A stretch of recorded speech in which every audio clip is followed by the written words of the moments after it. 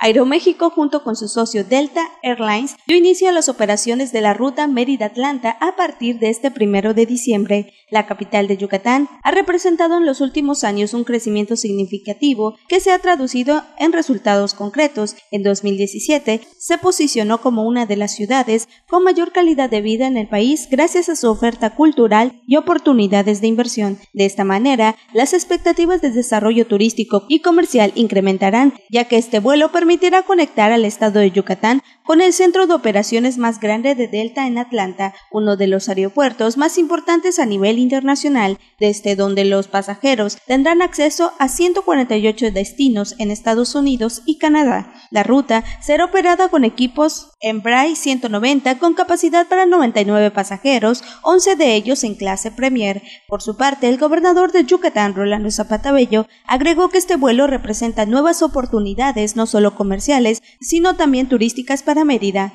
Notivisión.